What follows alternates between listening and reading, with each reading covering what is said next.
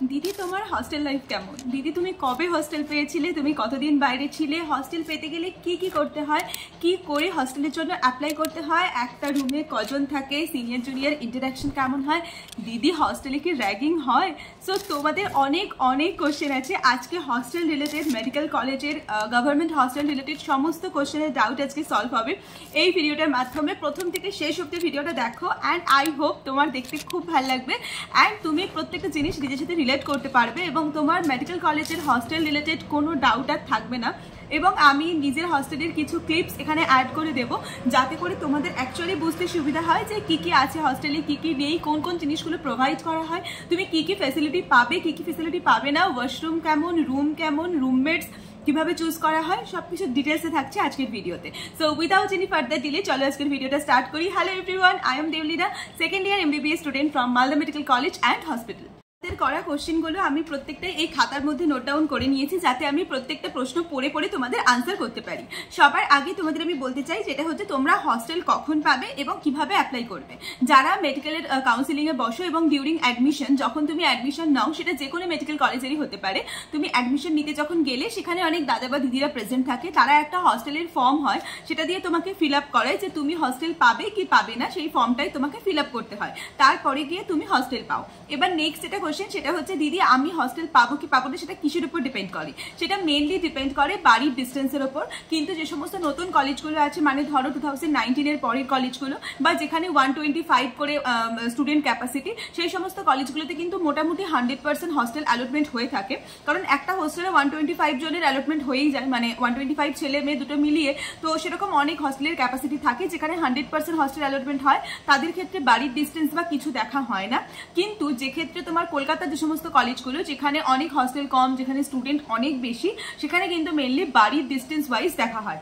যেমন ধরো আমি যদি বলি, আমি ধরো সাপোজ আমি নর্থ বেঙ্গলে থাকি, আমি কলকাতার কোনো কলেজে ভর্তি হলাম। তখন আমার কিন্তু ফার্স্ট প্রায়োরিটি থাকে যে আমি হস্টেল পাবো। রাদার দেন কলকাতার আশেপাশে যারা থাকে, তারা কিন্তু অনেক পরে গিয়ে হস্টেল পায়। তো এটা হচ্ছে মেন ক্রাইটেরিয়া যে ডিস্টেন্স ওয়াইজই দেখা হয়। তবে যে সমস্ত কলেজে সিট অ্যাভেলেবিলিটি থাকে হস্টেলের সেখানে কিন্তু সবাই পেয়ে থাকে। আমার কলেজে পার্সোনালি মালদা মেডিকেল কলেজের সম্বন্ধে যদি জানতে চাও, আমি যখন এসেছিলাম, আমাদের ব্যাচে সবাই হস্টেল পেয়েছিল মোটামুটি। একজন দুজন ছাড়া ওটা ছেলেদের, মেয়েদের সবাই পেয়েছিল। কারণ মেয়েদের যেটা রুম অ্যাভেলেবিলিটি ছিল, আর ছেলেদের ক্ষেত্রে হচ্ছে তোমার একজন দুজন পাইনি বাকি সবাই পেয়েছিল। নেক্সট যে কোশ্চেনটা সেটা হচ্ছে, দিদি হস্টেলে কি কি দেওয়া হয়? আচ্ছা মেনলি যে সমস্ত নতুন হস্টেলগুলো মানে টু থাউজেন্ড নাইনটিনের পরের হস্টেলগুলো সেখানে একটা বেড দেওয়া হয়, একটা টেবিল দেওয়া হয়, একটা চেয়ার দেওয়া হয়, একটা আলমারি দেওয়া হয়। আর তার আগে যে সমস্ত কলেজগুলো সেগুলোতে যদি রুমে অ্যাভেলেবেল থাকে, তাহলে তোমরা পাবে।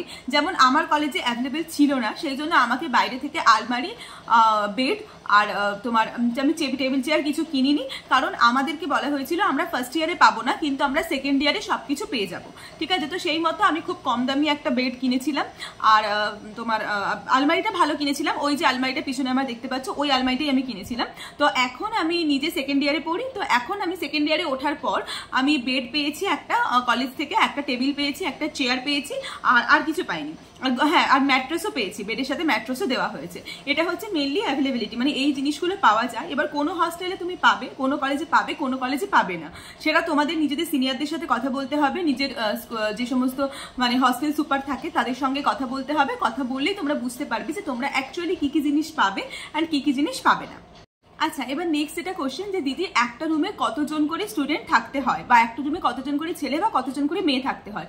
মেনলি যেটা মানে ম্যাক্সিমাম সমস্ত কলেজের ক্ষেত্রে হয়, একটা রুমে ম্যাক্সিমাম চারজন, পাঁচজন এরকম ছেলে বা মেয়ে থাকতে হয়। মানে ঠিক আছে? মানে একটা রুমে ম্যাক্সিমাম চারজন বা পাঁচজন থাকবে, তার থেকে বেশি সাধারণত হয় না। এবার আমাদের কলেজের জন্য যদি বলি, কিছু কিছু কলেজ আমাদের কলেজের মতো আছে, যেখানে ছেলেদের ফার্স্ট ইয়ারে মানে ফার্স্ট ইয়ারটুকুতে ডর্মে থাকতে হয়। এবার ডর্ম মানে কি জিনিসটা? ওখানে বেড প্রোভাইড করা হয়, ওখানে একটা সাইড টেবিল প্রোভাইড করা হয়। আর আর কিছু আর ম্যাট্রেস প্রোভাইড করা হয় এবং যেখানে ডর্মের লাইফটা ভীষণ আনন্দের হয়। অনেকে ভাবে ডর্মে থাকব প্রাইভেসি ব্রিচ হবে। মেয়েদের ক্ষেত্রে কখনো এরকম দেখিনি। হয়তো কোনো কলেজে থাকলেও থাকতে পারে, কিন্তু আমাদের কলেজে ছেলেদের ক্ষেত্রে আছে একটা ডরমেটরি মানে একটা ডরমেটরি টাইপ অফ বেড যেখানে টোটাল ছটা ডর্ম আছে। সেই ডর্মে সবাইকে ভাগ করে রাখা হয় এবং সেইখানে অ্যাকচুয়ালি কি হয় বলতো জিনিসটা? মানে খুব মজা হয়, খুব আনন্দ হয়। কারণ ষোলো জন কমপ্লিটলি ডিফারেন্ট ডিফারেন্ট মানুষ। তারা হচ্ছে তোমার একসাথে থাকছি, তাদের মধ্যে কথার লেনদেন হচ্ছে, মজা হচ্ছে। হচ্ছে, হাসি হচ্ছে, আনন্দ হচ্ছে। আর আসল মানে কলেজ লাইফের মজাটা বোধহয় ছেলেরাই পেয়েছিল।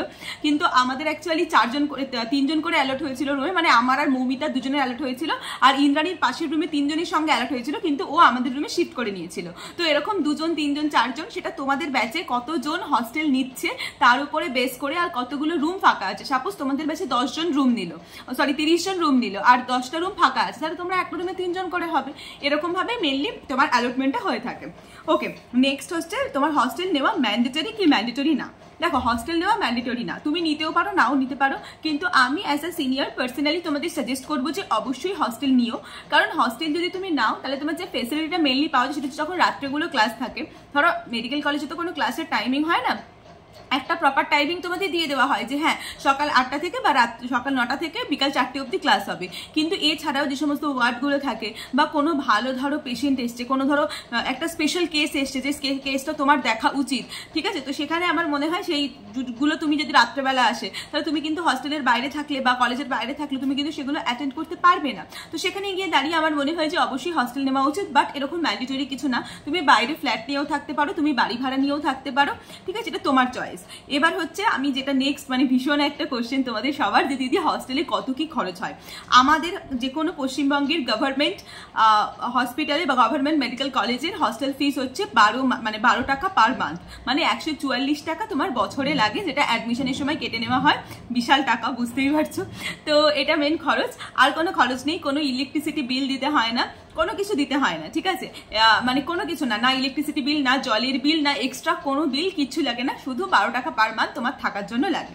আচ্ছা এর সঙ্গে একটা কোশ্চেন যেটা সবাই করেছ আমাকে যে, দিদি থাকার সঙ্গে কি খাওয়াটাও ফ্রি না, একদমই না, খাওয়াটা ফ্রি নয়। খাওয়াটা কলেজে অনেক ক্যান্টিন আছে, সেই ক্যান্টিনের রেঞ্জ মোটামুটি আড়াই হাজার থেকে তিন হাজার, সাড়ে তিন হাজার, চার হাজার এরকম রেঞ্জের মধ্যে খাবার দাবার পাওয়া যায়। ভেজ অ্যান্ড নন ভেজ দু ধরনের টাইপেরই খাবার পাওয়া যায়। তো তোমরা যেটাতে কমফোর্টেবল মান্থলি হিসেবে আমি বললাম, এটা মান্থলি খরচ, মেসের টাকা। বলে। তো সেই মান্থলি খরচ তোমরা এইভাবে কিন্তু করতে পারো। তোমাদের মানে খাবার জন্য ওই একটা আড়াই হাজার থেকে সাড়ে তিন হাজার, চার হাজারের একটা দরকার হয় খাবার জন্য। এটা ফ্রি নয়, এটা প্রোভাইড করতে এটা তোমার নিজেদের দিতে হয় পার মান্থ ঠিক আছে? নেক্সট একটা কোশ্চেন সেটা হচ্ছে আমরা কি নিজেদের রুম নিজেরা চুজ করতে পারি? তো নিজেদের রুম নিজেরা চুজ করতে ফার্স্ট ইয়ারকে তো সাধারণত দেওয়া হয় না, কারণ তোমরা কাউকে চেনোই না। হ্যাঁ তোমরা রুমমেট চুজ করতে পারো, আর রুম কতগুলো অ্যাভেলেবেল আছে সেই অনুযায়ী যারা হস্টেল মনিটর থাকে বা যারা হস্টেল কমিটি থাকে বা হস্টেলের মানে যারা এইচআর থাকে হস্টেল রিপ্রেজেন্টেটিভ থাকে, তারাই মেনলি চুজ করে দেয় ফার্স্ট ইয়ারটুকু সেকেন্ড ইয়ার থেকে অনেক অপশন অ্যাভেলেবেল থাকে, কিন্তু ফার্স্ট ইয়ারে যেহেতু তুমি একদম নতুন, তুমি কিছুই জানো না, তো ফার্স্ট ইয়ারে তুমি চুজ করতে পারো না যে তোমার কোন রুম পড়বে। বাট সিনিয়রে চেষ্টা করে যে তোমাদের সমস্ত রকমের সুযোগ সুবিধা দেখে মোস্ট পসিবল ওয়েতেই তোমাদের রুম দেওয়ার ঠিক আছে? তো দেন হচ্ছে তোমার রুমমেট কি চুজ করতে পারো? হ্যাঁ রুমমেট তুমি অবশ্যই চুজ করতে পারো। সেটা সব সব জায়গাতেই মোটামুটি আছে কম বেশি যদিও আমাদের মানে বয়েজ হোস্টেলের ক্ষেত্রে কিন্তু রুমমেট ওরকম, কারণ ওদের তো ডরমিটরি সিস্টেম একটা ডরমে ষোলো জন করে থাকে। তো ওদের কিন্তু ওরকম কোনো ফেসিলিটি অ্যাভেলেবেল ছিল না। নেক্সট হচ্ছে তোমার মিউচুয়াল শিফটিং কি পসিবল হ্যাঁ একদমই পসিবল মানে ধরো তুমি একজনের সাথে আছো রুমে তোমার কোনো প্রবলেম হচ্ছে, তো তুমি সেটা যদি সিনিয়রদের জানাও বা হস্টেল রিপ্রেজেন্টেটিভদের জানাও, তারা কিন্তু তোমাকে চেষ্টা করে যদি রুম খালি থাকে বা যদি রুম ফাঁকা থাকে, তাহলে কিন্তু সেই রুমে তোমাকে শিফট করিয়ে দেওয়ার কথা অবশ্যই ভেবে থাকে। এবার হচ্ছে ওয়াশরুম মেডিকেল কলেজের ওয়াশরুম আমি তোমাদের দেখিয়ে দেবো। এখানে আমি একটা ভিডিওর মাধ্যমে তোমরা দেখতে পাচ্ছ, এটা হচ্ছে আমাদের হস্টেলের ওয়াশরুম কিন্তু এটা মেনলি হচ্ছে তোমার সিনিয়র হস্টেলের ওয়াশরুম মানে সেকেন্ড ইয়ার থেকে তুমি এরকম হস্টেল ওয়াশরুম পাবে। কিন্তু যারা হচ্ছে তোমার ফার্স্ট ইয়ারে ছিল, তাদের ওয়াশরুমও খুব খারাপ নয়, যথেষ্ট পরিষ্কার। নতুন হস্টেলগুলোতে এরকম ওয়াশরুম তোমরা পাবে। নতুন মানে ধরো দু হাজার পর যে কলেজগুলো সেখানে কিন্তু এরকম ওয়াশরুম অ্যাভেলেবেল আছে। কিন্তু দু হাজার আগে যে কলেজগুলো তার ওয়াশরুমগুলো একটু হয়তো নোংরা থাকতে পারে। নোংরা মানে একটু পুরানো থাকতে পারে মানে টাইলস বসানো নয় মানে ধরো সিমেন্টের হতে পারে। কিন্তু নোংরা কোনোটাই থাকে না, যথেষ্ট হাইজিন মেনটেন করা হয়, অনেকটাই পরিষ্কার রাখা হয়। আর আমি সবাইকে বলব যে, দেখো, নিজের পরিষ্কার নিজের কাছে। নিজে কিন্তু কখনো হস্টেল নোংরা করো না। নিজে চেষ্টা করো যে হস্টেলের ওয়াশরুম পরিষ্কার রাখার। কারণ তুমি যেটা ইউজ করছ, সেটা তুমি নিশ্চয়ই তোমার বাড়িতে এরকমভাবে ইউজ করো না। তো সেটা তোমরা অবশ্যই কিন্তু পরিষ্কার রাখার চেষ্টা করো। নেক্সট আমি কি বল নেক্সট হচ্ছে তোমার কোশ্চেন করেছ, দিদি হস্টেলের টাইমিং কি? তো অবশ্যই দেখো, যারা ফার্স্ট ইয়ারে আসে, তাদের জন্য একটা হস্টেলের টাইমিং কিন্তু মেনটেন করে দেওয়া হয়। কারণ তারা সবাই নতুন একটা শহরে আসছে। সেই শহরে তারা অনেক কিছু জানে না, অনেক কিছু বোঝে না। সেই শহরের কালচার কি, তারা অতটা ভালো করে জানে না। সেখানে রাত নটার পরে মানুষজন বাইরে থাকাটা সেফ কিনা, সেটা তারা জানে না। সেই জন্য এক্সকিউজ মি সেই জন্য আমাদের মেডিকেল কলেজে কিন্তু একটা টাইমিং করে দেওয়া আছে। সেটা ডিফারেন্ট মেডিকেল কলেজের ক্ষেত্রে ডিফারেন্ট ডিফারেন্ট হয়। আমাদের মেডিকেল কলেজে বা ম্যাক্সিমাম ওয়েস্ট বেঙ্গলের মেডিকেল কলেজে এটা হয়, সেটা হচ্ছে ওই মেয়েদের মোটামুটি হস্টেলে আটটা থেকে নটার মধ্যে ফিরে আসতে হয়। এই টাইমিংটা থাকে যে এর বাইরে যাওয়া যায় না। আর ছেলেদের ওই নটা থেকে দশটা এরকম টাইমিং থাকে। কিন্তু এটা আমাদের হস্টেলের ক্ষেত্রে, মালদার। কিন্তু এমন অনেক মেডিকেল কলেজ আছে যেখানে ছেলেদের জন্য কোনো টাইমিং থাকে না, কিন্তু মেয়েদের জন্য টাইমিং থাকে।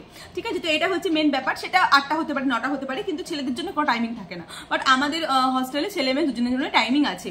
ফার্স্ট ইয়ার টুকু সেকেন্ড ইয়ার থেকে কোনো টাইমিং নেই, তুমি যতক্ষণ ইচ্ছা বাইরে থাকতে পারো, কোনো ব্যাপার না। এবার ফার্স্ট ইয়ারে কেন টাইমিং রাখা, সেটার এক্সপ্লেনেশন তো আমি তোমাদের দিলামই। আচ্ছা নেক্সট হচ্ছে হ্যাঁ যেটা তোমাদের বললাম যে মানে হস্টেল এমন একটা জিনিস যেটা তোমাকে সেকেন্ড হোম ভাবতে হবে।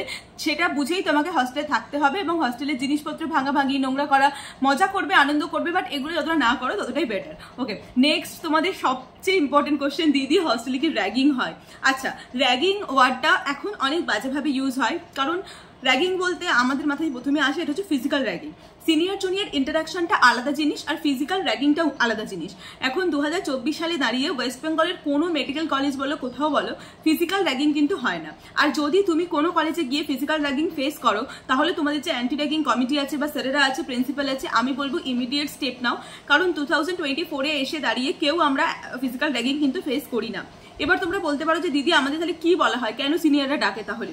সিনিয়ররা ডাকে, নাম জিজ্ঞেস করতে ইন্টারাকশন করে। যদি কোনো ভুল করো, তুমি সেই ভুলগুলো তোমাকে ধরিয়ে দিতে পারে। বাট আদারওয়াইজ কিন্তু ওরকম কোনো র্যাগিং বা কিছু হয় না। কোনো মেডিকেল কলেজেই হয় না। আই গেস তোমাদের আমি অনেকটা ক্লিয়ার করতে পারলাম। এবার কি অনেকে কোশ্চেন করেছে আমাকে, দিদি সিনিয়রের সঙ্গে কি রুম শেয়ার করতে হয়? আমাদের পার্সোনালি কখনো সিনিয়রের সঙ্গে রুম শেয়ার করতে হয়নি। কারণ আমরা যখন আসি, তখন মানে হয়েছিল বলতে আমাকে নিজের পার্সোনালি হয়েছিল শুরুর দিকে এক সপ্তাহ সিনিয়রের সঙ্গে রুম শেয়ার করতে। কিন্তু পার্সোনালি এরকম মানে লং টার্মে কখনো শেয়ার করতে হয়নি। কিন্তু অনেক মেডিকেল কলেজে এরকম আছে, তোমার রুমমেট সিনিয়র হয়। কিন্তু বিশ্বাস করো এটা যতটা খারাপ, ততটাই ভালো। মানে তোমার হয়তো মনে হতে পারে সিনিয়র আমার র্যাগিং নেবে। বাট বিশ্বাস করো, ওরকম হয় না। রুমমেট যে সিনিয়র থাকে, তার কাছ থেকে তুমি একাডেমিক হেল্প পেতে পারো নন একাডেমিক হেল্প পেতে পারো। তোমার মেন্টাল ব্রেকডাউন থাকলে সিনিয়র তোমাকে হেল্প করতে পারে। শুধু তাই নয়, তুমি তার কাছ থেকে সমস্ত রকমের সাপোর্ট পেতে পারো। মেডিকেল কলেজ কিন্তু সিনিয়র ছাড়া পসিবল নয়। তো সিনিয়রকে অবশ্যই খুব মানে ঠিকভাবে ট্রিট করো, অনেকে আছে সিনিয়রকে মানে বাজেভাবে ট্রিট করব সিনিয়র মানে আমাদের র্যাগিং নেবে, এরকম কিন্তু ব্যাপারটা নয়। অনেক সিনিয়র আছে, অনেক ভালো।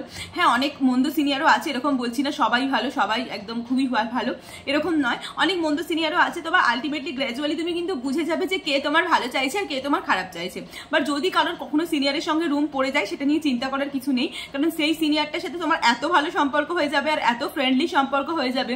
এবং সে তোমার সিনিয়র মানে সে নিশ্চয়ই ওয়ার্ডে তোমার থেকে বেশি যায়, তোমার থেকে বেশি কাজ করে। তার মানে সে নিশ্চয়ই তোমাকে ওয়ার্ডের ব্যাপারেও হেল্প করতে পারবে। আর মেডিকেল কলেজের ক্ষেত্রে কিন্তু ওয়ার্ড নলেজটা অনেক বেশি ম্যাটার করে। এটা এবার আমি বলব যে মানে তোমার যেটা তোমরা বলছো যে হস্টেলে থাকতে গেলে আমাকে কি কি জিনিস মাথায় রাখা উচিত বা হস্টেল সার্ভাইভাল কিট তুমি কি দেবে দিদি bonus tip as a senior তো আমি এস এ সিনিয়র তোমাদের বলব হস্টেলে নিজেকে নিয়ে থাকো। বন্ধু বান্ধব আত্মীয় স্বজন মানে বন্ধু বান্ধব যারা হবে, তারা মানে ইটস লাইক তোমার ওই নিট প্রিপারেশনের সময় যে সমস্ত রিলেটিভসগুলো ছিল না, কিছুটা তাদের মতো হবে। হ্যাঁ অবশ্যই তুমি অনেক অনেক ভালো বন্ধু পাবে। তবে এরকম নয় যে তোমার মানে অনেক ভালো বন্ধুর সঙ্গে তোমাকে ভালো সম্পর্ক রাখতে হবে। নিজের একটা এখতিয়ার বানাও। সেই এখতিয়ারের মধ্যে কাউকে ঢুকতে দেবে না। নিজের পার্সোনাল জিনিস পার্সোনাল রাখবে এবং এখানে খুব তাড়াতাড়ি কথা ছড়ায়। তো যদি কথাগুলোকে নিজের কন্ট্রোলে রাখা যায়, সেটাই অনেক বেটার হবে। তুমি অবশ্যই, আমি তোমাকে যে কথাগুলো বলেছি, সেগুলো তুমি এখন বুঝতে পারবে না। তুমি যখন মেডিকেল কলেজে যাবে, একবার, দুবার ঠকবে, তবে গিয়ে তুমি বুঝতে পারবে যে অ্যাকচুয়ালি আমি কি বলতে চাইছি। বাট সবার আগে আমি এটা বলব যে নিজের বাবা মাকে কখনো ফোন করতে ভুলে যেও না। প্রতিদিন যতই বন্ধু বান্ধব হোক, যতই বয়ফ্রেন্ড গার্লফ্রেন্ড হোক, তুমি সবসময় চেষ্টা করো যে প্রতিদিন একবার করে, দুবার করে যেন বাবা মাকে কল করা যায়। কারণ এখন যে সিচুয়েশন বাবা মা কিন্তু বাড়িতে থাকে, অনেক চিন্তা নিয়ে থাকে। অবশ্যই কল করো সব কিছুর মাঝখানে এসে তুমি ছেলে হও বা মেয়ে হও ফ্যামিলিকে ফার্স্ট প্রায়োরিটি রেখো বন্ধু বান্ধব অনেক পাবে, অনেক হবে, মজা করবে হই হুল্লোড় করবে, আনন্দ করবে বার্থডে সেলিব্রেশন হবে পিকনিক হবে। হস্টেলে অনেক কিছু হয়, অনেক মজা করো, অনেক আনন্দ করো বাট তার মধ্যে নিজের ফ্যামিলিকে ভুলে যাও না আর নিজেকে সবসময় ফার্স্ট প্রায়োরিটি দিও। So that's it for today's video all the very best for your new hostel life so তোমাদের হস্টেল লাইফ যারা হস্টেলে আছো, তাদের কেমন কাটছে সেটা কমেন্ট লাইফে জানা কমেন্টে জানাও। আর যারা নতুন হস্টেলে যাবে, তাদের হস্টেল থেকে কি কি এক্সপেকটেশন আছে সেটাও আমাকে জানাও। আর তোমাদের যদি কোনো কোশ্চেন থাকে, এটা ছাড়াও যেগুলো আমি কভার করলাম না এই ভিডিওতে তাহলে সেটাও তোমরা জানাতে পারো। তাহলে আমি হস্টেল এই সিরিজের একটা সেকেন্ড পার্ট তোমাদের সাথে শেয়ার করে দেবো so that's it for today's video see you in next video very soon bye